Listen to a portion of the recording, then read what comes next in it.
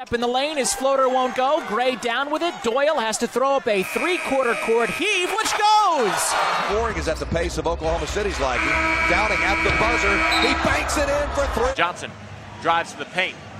Lobs it out. Three seconds to shoot here for Hilliard. He has to fire straight away. At the buzzer, it's good. Darrun Hilliard with 19 first half points. Five threes here to start the ball game. And after two, it's the Austin Spurs leading the Reno Bighorn 77 to 61. Demetrius Jackson for a cutting Oliver. Up to Patton. To the driving. Oh, look out.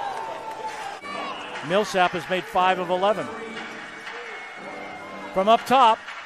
Oh, my. Millsap, you're right about that. That's your call. Puts it up and in. And now here comes House at the buzzer. Three quarter court shot is good off the window. What about a three? Here's a drive. DeQuan Jones, big time visit to Dunk City. McDaniels does his part, and Felder mugged in the backcourt. No foul called.